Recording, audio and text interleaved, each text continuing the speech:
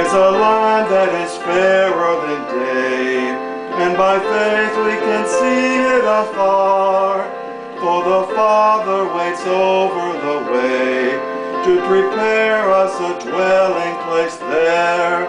In the sweet by and by, we shall meet on that beautiful shore.